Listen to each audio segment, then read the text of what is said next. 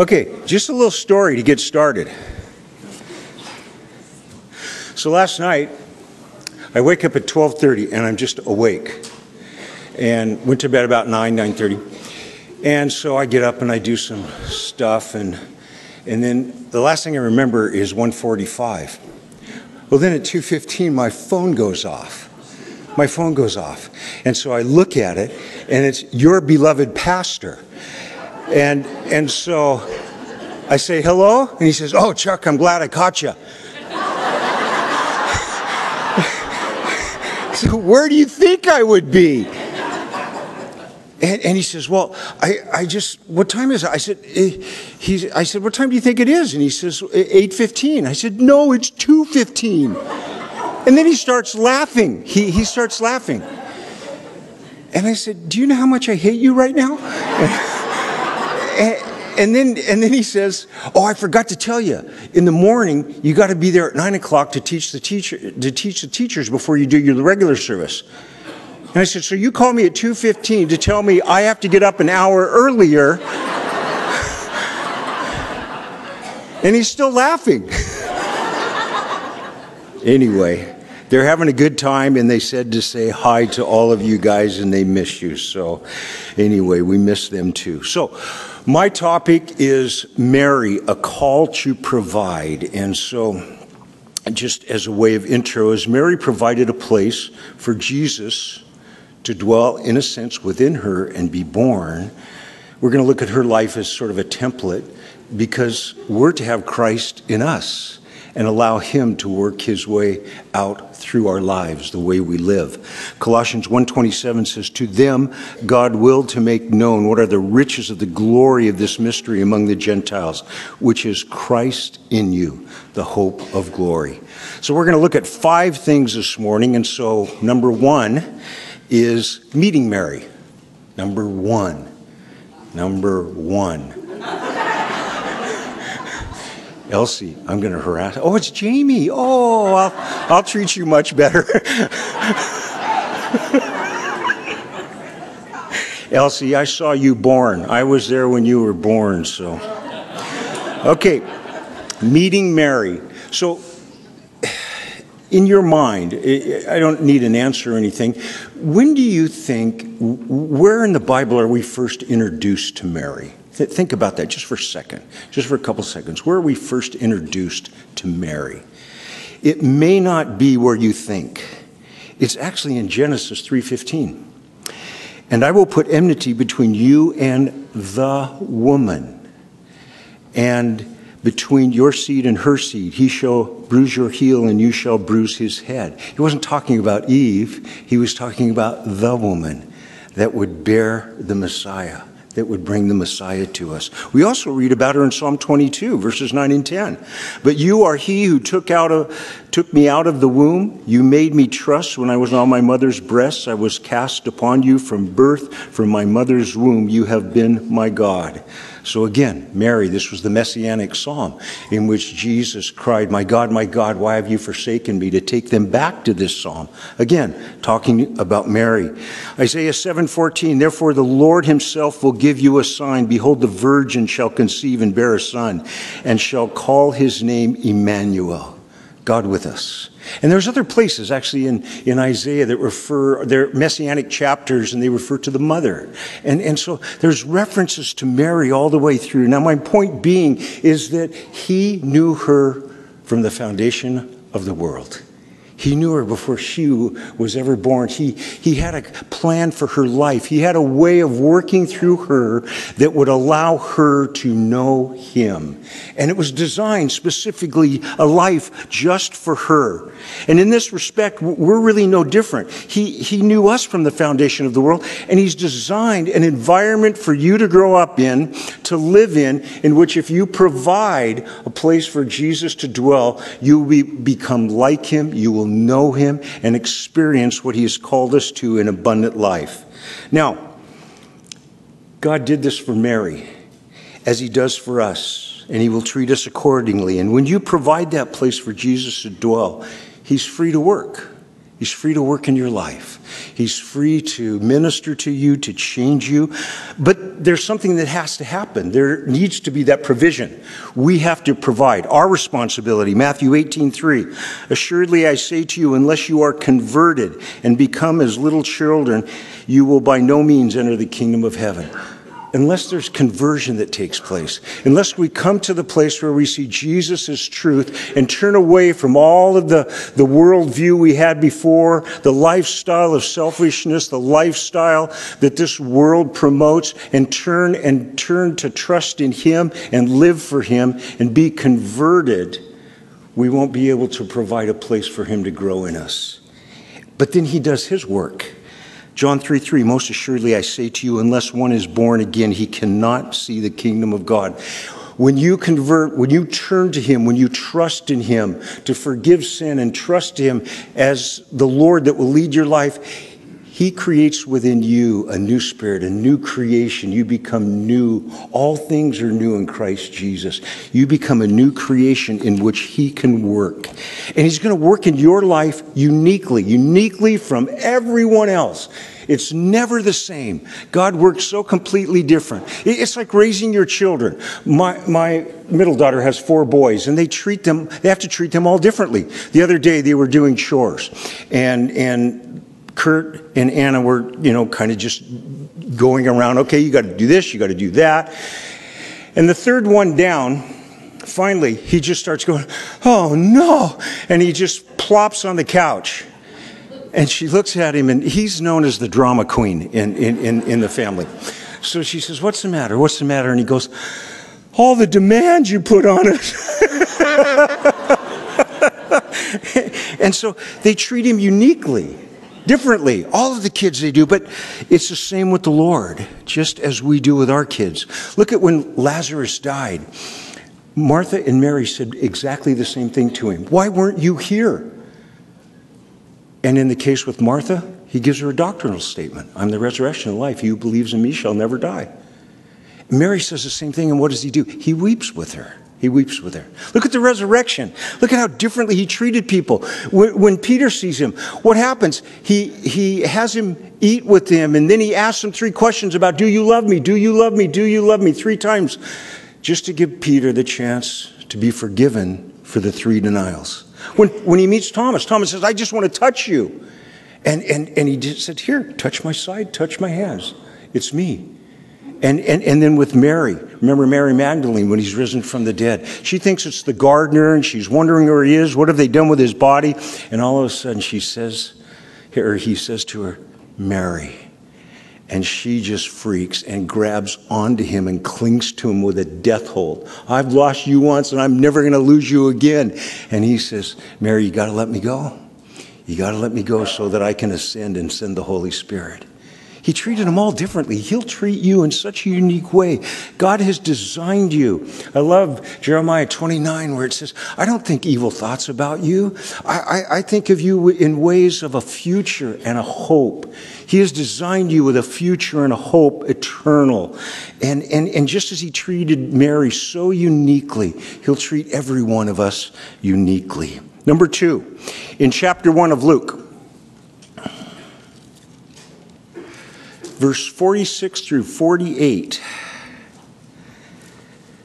And Mary said, My soul magnifies the Lord, and my spirit has rejoiced in God my Savior, for he has regarded the lowly state of his maidservant. For behold, henceforth all generations will call me blessed.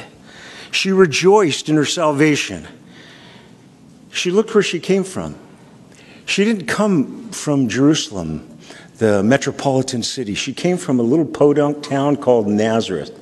It, it, would, it would be like a contrast would be if, if she was born in our day and age and in our area, instead of coming from Seattle, she would come from Roy. what good thing could come out of Roy? and so, again, it, that, that's the contrast. She, she, she was a woman, not a religious leader. She wasn't married to a priest or the high priest or someone that you would think of should bear the Messiah. Interesting. There's a group over in Israel, and it's a secret group. They're called the Druze. And they don't believe that God would allow a woman to birth the Messiah. So they think it's going to come from a man. And so they wear these big, baggy, baggy pants so that if he happens to give birth, and the baby comes from wherever it's going to come, it won't fall to the ground. It will land in one of the pouches. How bizarre is that? And how bizarre is it to even think that there's a man alive that could go through a pregnancy and then birth a child? That's even more bizarre in my mind. I've never met that man. but she came with humility because she knew God showed her favor. And, and, and, this is so important to understand that when she found favor, she understood what that meant. It was the same thing what it meant when he came to Noah and Noah, Noah found the favor of God. You could say it this way they understood the grace of God. They understood the grace of God. She understood that, that she didn't deserve this. She understood that she was, she, she didn't enter a competition. She didn't take a test. She didn't have to produce something. He chose her out of love. And it was by grace. She seemed to understand the implications of God saving her. He came to her. It was the angel coming to her, not her seeking this out. It was God coming to her just as God seeks us. He came to us. If you know Jesus Christ as your Lord this morning, it's because God was seeking after you. And by grace, you turned to Him. She was saved from sin, knowing that the living God would use her and is going to use her. I think the longer, you, the older you get, the more you realize it, it was all by grace. I look back at my life and the things that could have happened, the things that probably should have happened, and I realize surely goodness and mercy have followed me all the days of my life. Mary understood this at a very young age. She was probably only 15, 16 at the time. What a precious, precious woman the implications of salvation. She understood that she stood righteous before God and there was a future and a hope for her. And, and as we look ahead to this hope, this great hope, I, I just love the implications. No more pain, no more worry, no more fear. A, a new body that we might face, we might be with, before God face to face. All your desires, all your longings fulfilled. How many of you just would love to be an artist and you've tried and you're a failure and you're lousy at it? Who do you think put that desire in your heart? Do you not think in heaven that somehow he's going to fulfill that? I mean, he puts these desires, and so much of it is for the future. It says in, in Luke 10 20, Nevertheless, do not rejoice in this that the spirits are subject to you, but rather rejoice because your names are written in heaven. They just come back from this evangelistic outreach and, and they could heal people. The, the demons were subject to them. And he says, Hey, that's not what you should be rejoicing in. That's not what your hope should be in. These things are great, but they're only for a period of time. What you should be rejoicing in is that your names are written in the book of life for all eternity. Rejoice because your name is written in heaven. I don't think there's any greater story. If you look at some of the greatest tales of all time, the greatest stories of all time, it all dealt with someone giving their life for someone else. There's no greater story than that. And, and one of the things, a guy was telling me the other day, he said that, you know, when the Harry Potter books first came out, I knew at the end Harry would have to die for his friends. And, and I'm not promoting the books or anything like that. I'm just saying that's the greatest story ever told it appeals to every one of us that someone would give up that which is the most precious to them for the sake of others. And we keep coming back to the gospel, don't we? I'm what you would call retired now. I'm, i do a lot of stuff. I, I'm really busy, but, but I don't do this all the time anymore. Well, I do, but at other churches. I, I just don't have the administration and all that kind of stuff. But, but the thing is, I love more, Jesus more than I ever have in my life. And it all comes back to the gospel. I realize more and more what He's done for us. The older you get, the more you realize how sinful you are. You're just kind of a corrupt, old, grumpy old man. It's just the way it is. And He saved me and died for me. And I'm going to be in heaven with Him someday. And I, I can't think about heaven too much. I get, I, seriously, I just, I can't wait. I can't wait to be in heaven. I, I just think of being with God and all the activity, all of the creativity, being with all of you guys and, and seeing in you in your in your new bodies because you don't look so good right now. and and you'll see me in my new body and people that are, you know, I do the seniors and more of our friends are in heaven than are here with us now. And so we're looking forward to it. We want to be with them again. She rejoiced in her salvation. Number three, she was willing, even though she didn't, she was willing to do this, even though she didn't understand, nor could she control things. She, she didn't understand or control things. So much of what happened to her, she didn't understand or control. Luke 1 34 and 38. Then Mary said to the angel, How can this be since I do not know a man? Let it be to me according to your word in verse 38. She didn't understand. It wasn't unbelief, but she's thinking, okay, I, am not married yet. Well, I am married, I'm betrothed, but I, I, I, am not having relationships with a man. I've never had relationships with a man. How is this even going to be possible?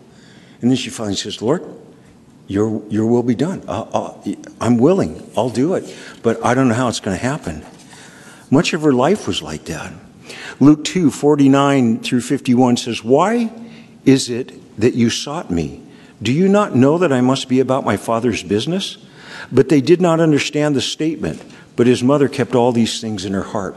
So when he's about 12, they go down to one of the feasts. They all leave with family, heading back to Nazareth, and they find out about a day into the travel that Jesus isn't with them. They go back, they find him in the temple discussing spiritual matters with the religious leaders, and they're amazed at his wisdom. And they say, What are you doing? What are you doing? Why, why, why did you cause this scare in us? Why aren't you with us? And, and he says something like, Didn't you know that I must be about my father's business? Can you imagine?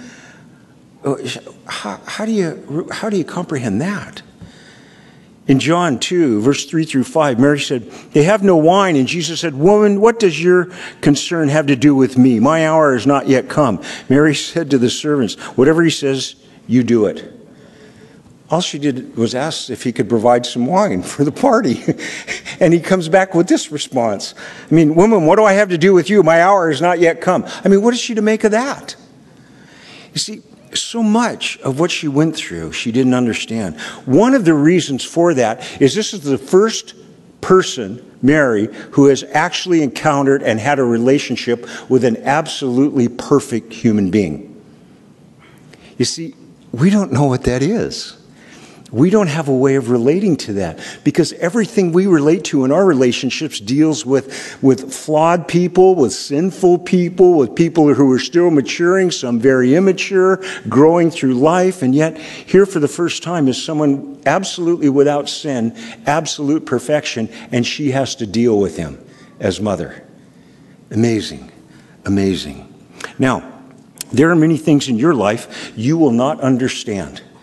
You, are not going to understand. Sometimes you're going to look at God and go, What are you thinking? And, and, and it's just not going to make sense. It's going to be difficult. It's going to be challenging. You won't be able to explain it to people around you. Yet, down deep, you know there's no place else you can go. John 6, 67 and 68. Do you also want to go away? Then Simon Peter answered him, Lord, to whom shall we go? You have the words of eternal life. See, he was saying that they must eat his flesh and drink his blood if they're going to be a part of him. And they're just going, You got to be kidding. This is just getting weirder and weirder.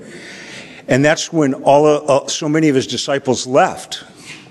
And by the Romans, they were categorized as cannibal, cannibals because of this, these statements.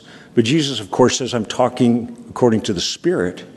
But he asked them, Are you guys going to leave too? And Peter just says, Lord, we have no idea what you're talking about right now but we know you have the words of truth, and we're not going anywhere. You're going to have to say that sometimes. See, think about it for a minute. What kind of God would he, would he be if you understood everything about him? In reality, he would be a God of your own creation. You would have made him up. Some people say, Oh, I just serve a God of love, you know. He just loves everybody, accepts everybody. You know, and that's God of your own creation. And, and the problem was that with this is unless he is greater than you, he can't help you. because he's just a God of your own creation. He won't be able to transform you because you can't change yourself. If he's a God that's just an extension of yourself, one you've created, you can't change yourself, so how is he going to change you? He can't forgive you because you can't forgive yourself. I hear it all the time over the years. I just can't forgive myself. I just feel condemned about the things I've done. Well, how, how is that going to happen if he's not greater than you? He can't comfort you unless he is greater than your heart because there are times you're going to be condemned. You're going to face condemnation and it's going to be tumultuous and it's going to be tormenting. 1 John 3:20 For if our heart condemns us God is greater than our heart and knows all things. You see, you need a God that is greater than you. You need a God who will tell you things that you don't want to hear because we are blind to so much of the sin in our life. And He graciously reveals that as time goes on. You need a God who will tell you you are loved and you're forgiven when you are condemning yourself and others around you are doing the same thing. Job understood this. Job understood that he had a God who loved him even when all those around him were condemning him. 1 John 3:20 talks about you know the like I just said that God is greater than our heart. Now, some will say Unless I get an airtight answer, I won't believe or trust God. Well, God's not going to give you airtight answers, but instead, He gives you an airtight person Jesus. That is our answer Him. You look at him coming and what he came to and, and what, he, what he went through. He suffered just like we would, even more so. We can't control things. Many are trying. There are many, I, have met many people over there, they're trying to control their environment. But in the process, what they're really trying to do is control God. We're trying to control our environment and we're driving everybody else nuts. If we don't get our way, we're mad. If things don't go the way we want them to, there's all these undercurrents and people kind of walk on eggshells around you because they don't want to upset you. And so I have people like this in my family. And so we just kind of work around them and we just, you know, you, you don't want to mess things up and, and, and you manipulate for supposedly the good of others and the protection of others and the protection of themselves. Your, your, your intentions are good. You're controlling things around you because you want the best for everybody, and yet it makes life miserable for everybody. It, is, it isn't something that's a blessing. I'm so glad my daughter, who has my oldest grandson, isn't controlling. He, he's technically blind. It was funny. We were playing cards the other day, and, and, and, and and Hammy, we had Hunter and, and, Cole. Cole's the one that's technically blind, and so he made some more mis- some mistake. And so Hammy says, "What's the matter with you, Cole? Are you blind?" "Oh yeah, you are." and so, I mean, they just, I mean, they just live in a different world over there, and and and they just, you know, they just take it in stride. That's just the way things are. But she lets him do stuff I would never let him do.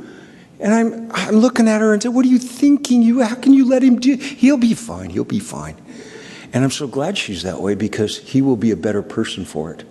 He will do things he, people would say he would never. He's wrestling right now, for heaven's sakes. And, and he was won four, four out of eight matches. He pinned people. I, I just, here's this blind kid out there. Just, you know, it's just amazing. So, but in this way, we try and control God. And as a result, when we're trying to control everything, we, we, we won't take risks with our finances. We, we won't allow changes to take place in our life. We're not going to go with the flow unless there's a fight, right? And, and that's what people like that do. As a result, when you're fighting with God, you never get to know his rest. You never get to know his peace. You never get to know his his love and his joy. You, you're always trying to control the environment. It's a tough way to live a Christian life. You see, to know God is a little like putting an elephant in your living room. The furniture is going to get moved. You, you know that, right? If you put an elephant in your living room, furniture is going to get moved. It's just the way it goes. If a tornado lands, things are going to get rearranged. When you turn your life over to the living God, it's not going to go the way you think it should all the time. He's going to rearrange things. But, but the beauty is when you provide a place for Him to grow in your life and to do these things, it's amazing how you can just experience more of an abundant life. She was willing. She didn't always choose to control or figure things out. She just trusted in circumstances. Instead of fighting circumstances, why not try asking God to change you or to, to allow you to show His love and His glory throughout the, the, the change and the circumstances that might be changing around you, to glorify Him and to be a witness in those situations. Mary did just that. She didn't try, try and control them. She realized things weren't going to go the way she always thought they would, and she was blessed because of it. Number four, she suffered but not alone. In Luke 2:35 it says, "Yes, a sword will pierce through your own soul also." There were many times she suffered. Many, many times she suffered. And, and some of them were emotional, and some of them were, were just ways that we couldn't even imagine. She suffered the scorn of a small town where she was pregnant and not yet married. She was betrothed, and that was like a marriage. You had to get a divorce it, it, it, once you were betrothed, but you couldn't uh, consummate the marriage. And so everybody just assumed that she committed adultery. Everybody just assumed she, Jesus was an illegitimate child. And, and this would go on. Joseph wanting to put her away. Joseph, you know, saying, okay, I get it, but I love you, so let's go somewhere, let's, let's get away from all of this. Jesus saying to, to his mother and brothers, at one point they thought he was just, they said beside himself, it just means crazy. They thought he had gone crazy. So Mary and the brothers and sisters all go, and they, they there's a huge crowd. So they sent someone up to say, "Your brothers and, and your, your mother, your brothers, and your sisters are here." And he says, "Who is my mother and brother and sisters? Those who do the will of God." I mean, just kind of a slam on on, on Mary and, and, and the family. At the wedding, he rebukes her, in a sense. Woman, what do I have to do with you? Jesus, when on the cross, he looks at John and says, John, behold your mother, and mother, behold your son, John. And we think of that as a wonderful, wonderful situation where Jesus is taking care of his mother. But think about it just a little more. Why did he have to do that? She had sons and daughters. It's very, in my mind, I think that she was estranged from her family. At this point, they all thought he was just a whack job and, and, and, and just crazy. And he was going to get himself killed. And so they didn't want to have anything to do with him, but Mary stuck by him. And so she had no family at the end. And so Jesus has to give her to John. So she's, in a sense, betrayed by her own family. She has to watch Jesus die, her own son the sword piercing her heart as well. But she was not alone in her life. She had Elizabeth when she was pregnant, her Aunt Elizabeth, who was too old to have children, and she was pregnant. and when she goes there, she says, you know, Jesus, uh, the, the child woman, I, blessed are you, he says, she says to Mary, and then she says, my child leaped for joy when, when you came into the room. Because, you know, that relationship and knowing that she carried the Messiah. Elizabeth was a, a, support to her, a strength to her. The other Marys that came along, that, that she was with as they followed Jesus, she had companions, she had friends. He gave her to John, so John took care of her for a while. And then in the book of Acts, that 120 waiting for the baptism of the Holy Spirit, Mary was there. Mary was there. You see, you're going to suffer in this life. It's a promise. It's a promise. Um, in this world you will have tribulation, Jesus said. But be of good cheer. I've overcome the world. And he says, Peace I give to you, not as the world gives, but as I give. You know, one of those promises that, if you're, eh, how many of you have promise books in your house that you read through? Any of you have those promise books and stuff? Okay, if you do, I bet that one isn't in there. they don't want you reading that one. in this world, you're going to have tribulation. That's not there. But it is a promise. He doesn't lie to us, He doesn't pull punches. He deals with us the way we're supposed to be dealt with and, and uniquely, but He doesn't hide things from us. You're going to suffer in this life, but you'll never be alone if you provide a place for Christ to dwell. Why? because everywhere you go, you're going to meet brothers and sisters. I've been all over the world, and I'll tell you, even when you don't speak the language, you speak the language. You speak the language of Jesus. And when someone knows you're a follower of Jesus and they're a follower of Jesus, man, you can hug and, and, and, you can worship together, and you don't even have to know their language because you have a deeper language. And you'll always have the body and you'll always have the Holy Spirit. God does comfort us.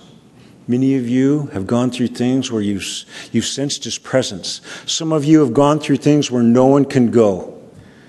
You know, when we talk about death, no matter how many people you have in that room around you, no one can do this for you or with you. It's something you have to do alone.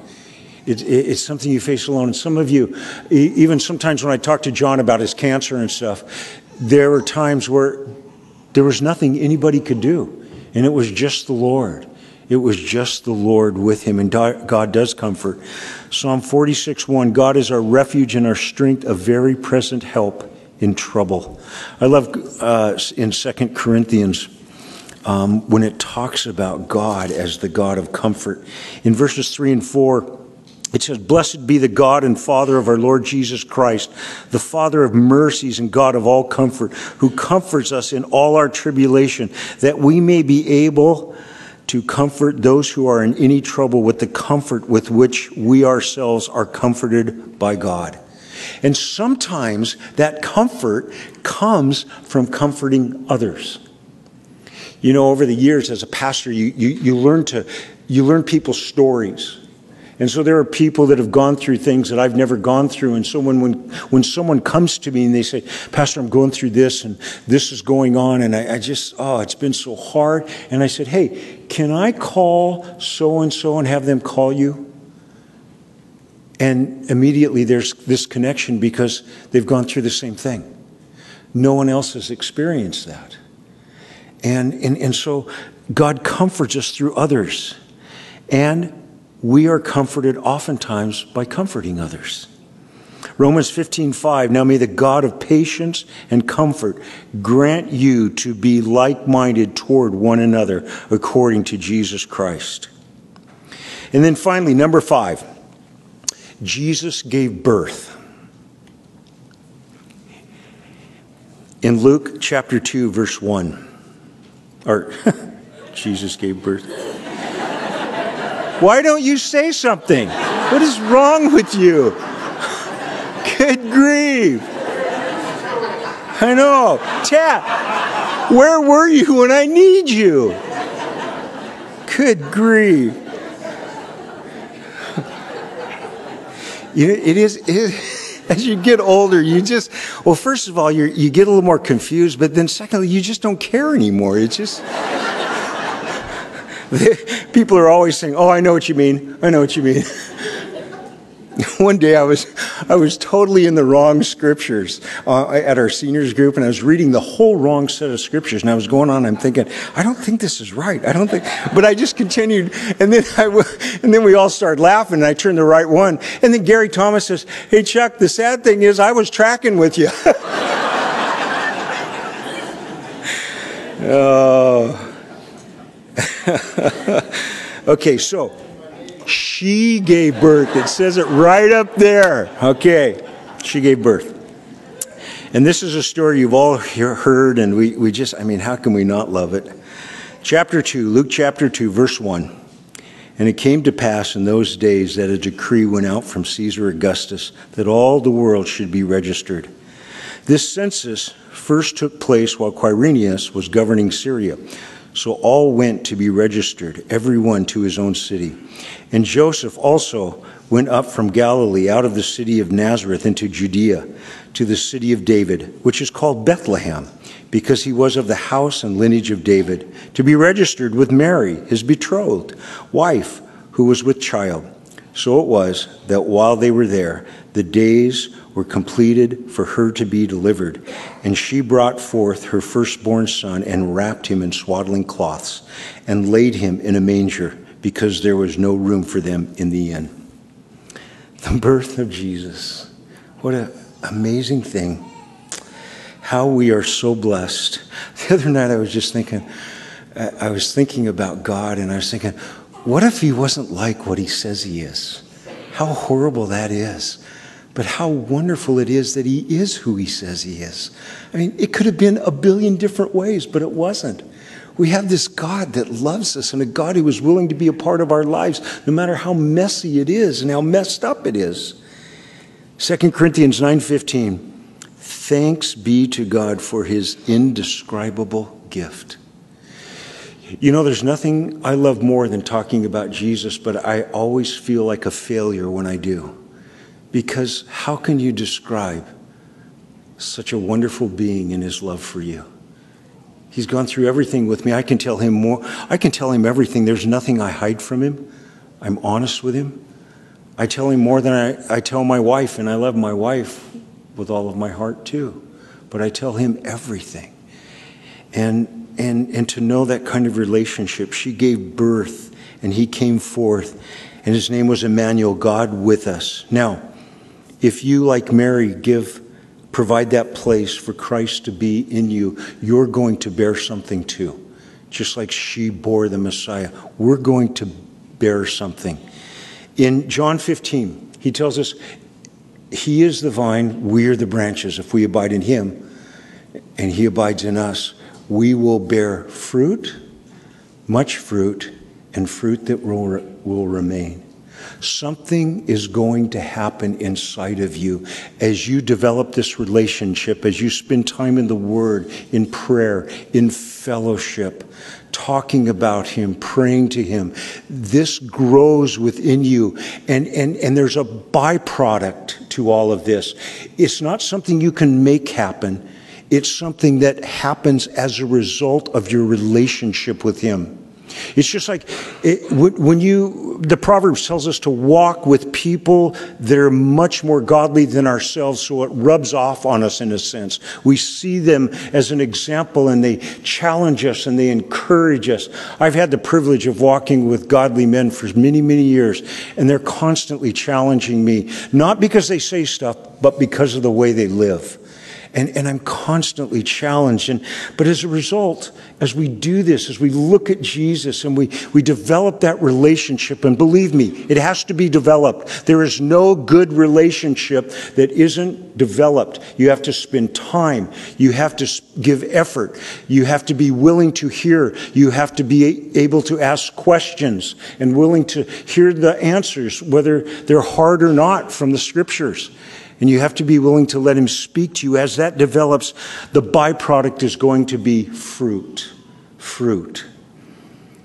Galatians 5 22 and 23. But the fruit of the Spirit is love, joy, peace, long suffering, kindness, goodness, faithfulness, gentleness, self control.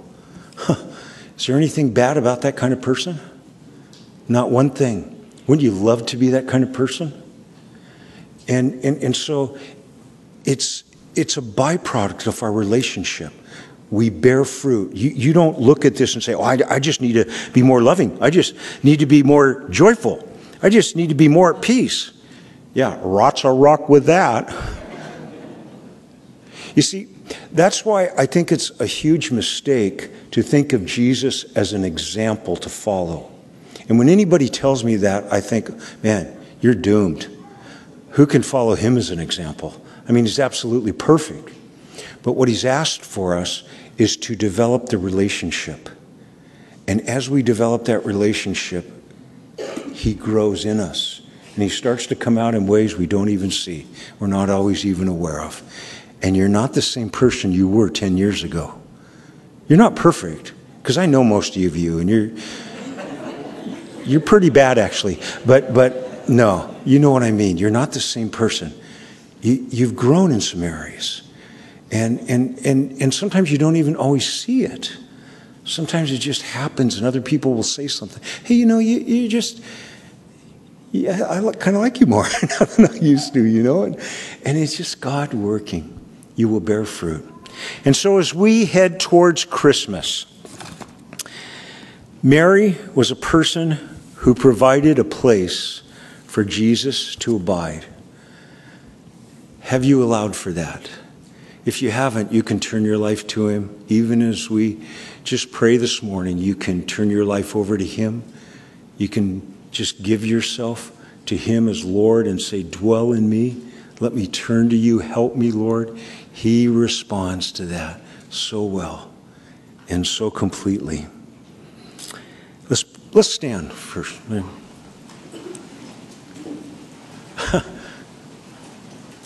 I had planned on going longer. See, that's the difference between me and John. He plans on going shorter. I, I plan on going longer. So, I, I, what time is your lunch?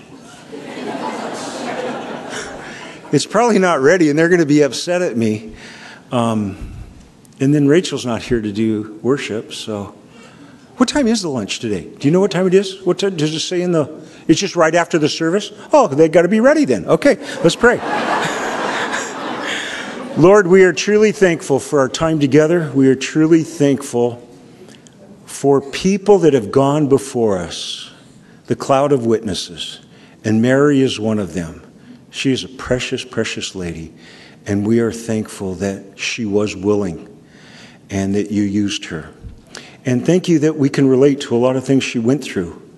And normal Christianity is not always a, perfect thing like we think. It, it is messy. It, it is sometimes we don't understand. We don't have control. And yet we know that we can turn to you at any time, and you're right there. We thank you for that. May we walk as though you're with us every second of the day. Lord, thank you for dying for us. Thank you for giving us a righteous standing before the Father. And we long to be with you. We are so looking forward to your return. And we just offer this morning up to you in Jesus' name. Amen.